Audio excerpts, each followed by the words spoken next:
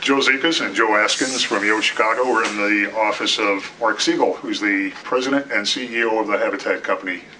You asked where we see opportunities earlier in our, in our discussion, and uh, I think affordable housing will continue to be an area where there is increasing need, not just here in Chicago, but across the country.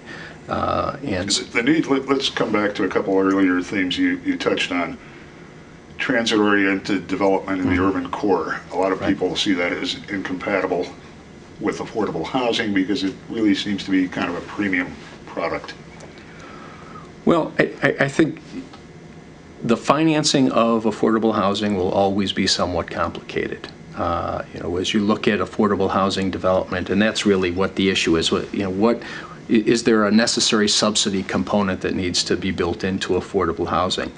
The affordable housing development, much of the affordable housing development that has existed uh, in the last 15-plus years has been driven by uh, the, the low-income housing tax credit market, which has, you know, a year ago was essentially non-existent and, and today is only coming back moderately. So one of the questions for affordable housing is, is what will provide the financial resource for the continued development of affordable housing. But we as a society have to solve that problem because we need more affordable housing. I mean, that is the bottom line, and we're losing a great deal of affordable housing in the city of Chicago as well as in other communities, and uh, it's just something that we as a society have to make sure it happens, because we've got, and, and it has to be where the jobs are, because when you have people who need affordable housing, to have them incur extraordinary time or cost associated with commuting to work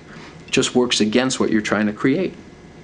So to create the opportunities, we need to have the affordable housing proximate to the available jobs. We- We've had a well-known housing market crash over the past several years. Uh, How is that impacting uh, affordable housing development? I think what's what's happening now is uh, development overall has been adversely affected uh, in this in this uh, past year and a half, two years, because the financing hasn't been there. I mean, the the credit markets have essentially frozen. Uh, we wouldn't have had uh, we wouldn't have had uh, any development at all without some of the federally sponsored programs. There's been very little development going on in, in uh, multifamily. Uh, we were able to sustain multifamily. I mean, multifamily among real estate markets has been one of the better performing real estate sectors only because Fannie Mae, Freddie Mac, and the FHA have been there to provide liquidity in our markets that didn't exist in a lot of other markets, uh, real estate sectors uh, in the country. And so when things are starting to get better financially, some lenders are starting to extend credit again.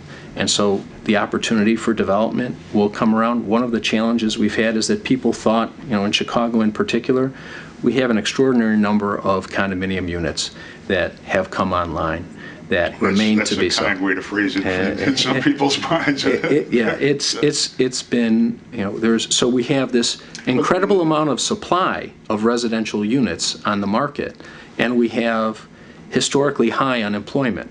So we're getting hit on both ends. You've got a, a demand problem because you've got low employment, and you've got a uh, supply problem because you've got this incredible amount of units that are out there that are now becoming rental units because somebody may not have they may have bought it and thinking they would live there or they would flip it or the developer wasn't able to sell it.